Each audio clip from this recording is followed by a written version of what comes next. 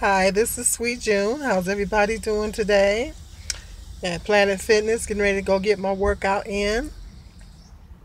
Um, um, I did when I did my oh, I got my got my results for my second breast exam. Everything is fine.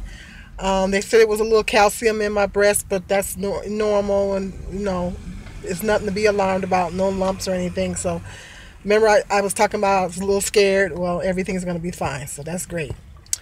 Anyway, but remember when I asked you guys about the ketogenic diet um, in my one video? Um, I actually tried it for three days and um, I was been doing a lot of research and everything and watching a lot of videos on it and um, a lot of things that I was already eating um, a lot of things that's in that diet I was already eating um, I, I said I'll try it for three days to see how it do me and see how I like it but the issue that I'm having with it they, they're saying that you can't have now when I first started cutting back um, when I first started cutting back I was working with a dietitian. My dietitian said that um, strawberries and blueberries was the best fruit for me to eat because they're the lowest in sugar.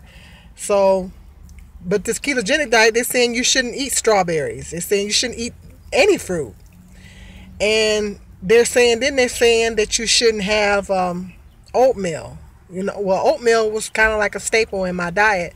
Do I eat it every day? No, I don't. But um, I have an issue I don't think I want to go without eating oatmeal. Um, um, and then I have I have a little bit of a problem with increasing the fat in my diet because I over this past year a few months hasn't quite been a year I've been I've been accustomed to low carb, low sugar, and low fat, and I took I, I, I cut pork drastically out of my diet. I, I cut beef drastically out of my diet um, just mainly focusing on chicken, fish, and turkey. And now they're saying that, you know, um, it's okay to have bacon and they're saying that you should eat all this fat. Um, you know, and that includes the healthy fats too.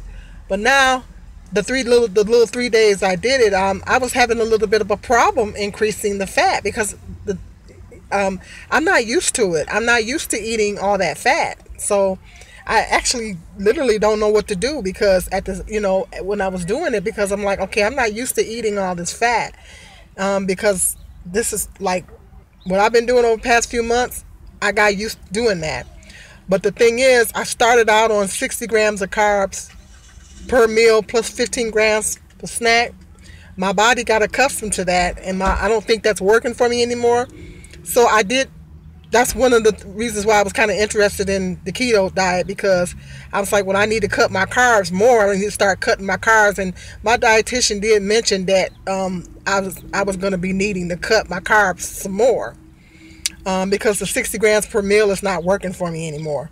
I think my body got adjusted to it, and you know, um, it's kind of slowed down my weight loss.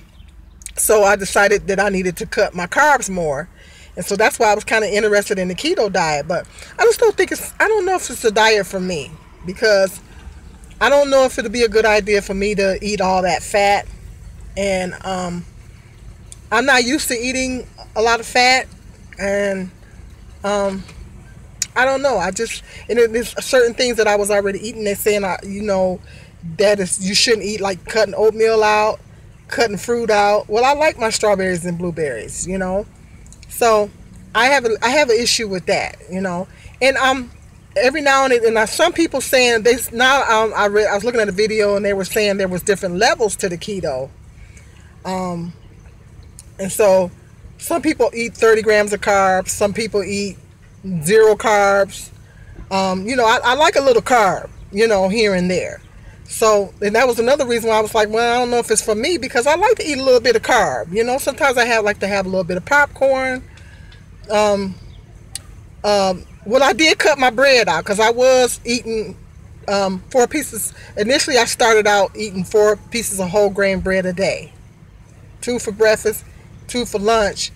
That was because I was on the 60 grams per meal when I decided to cut that down to two pieces of bread a day. Now I'm not eating the bread anymore. I cut the bread out my diet. I was eating baked potatoes. I don't eat baked potatoes. Now I do meat and vegetables for dinner. So I have cut my carbs. Um, but I just don't know. But I don't want to cut them out completely. I'm just, and I don't. I have an issue with increasing the fat. So, um, that you know, guys, let me know in the comment section if you're doing this diet. How's it doing you? I just don't know if it's the diet for me. You know, I think that I I I, I, I should just continue doing what I've been doing, cutting sugars, carbs, and fats, but I'm cutting my carbs down lower. Then and then my dietitian hinted around that I should do that anyway. So, um, but I just don't know if this keto diet is for me. I don't. I have an issue with. Inc- I don't want to. I don't know if I want to increase my fat. And it's something that we were talking about. Intermittent, intermittent. Uh, I don't know if I said fasting. I don't know if that's healthy because if you don't eat anything, my dietitian told me not to skip any meals. Because you skip any meals, you know, it can mess with your metabolism. So how is that fasting, intermittent fasting, good for you? Like some of the people on this keto diet do this intermittent, what they call it, fasting. I don't know if that's healthy either. So don't know if it's the diet for me. I'm just gonna keep doing what I'm doing, cutting my carbs and um, sugars and um, fat, exercising. Um, I'm just gonna keep on on track with what I'm doing and stick with that. You know. Let me know in the comment section what you think. You know, if you guys are doing this diet, let me know what you know if how it's working for you.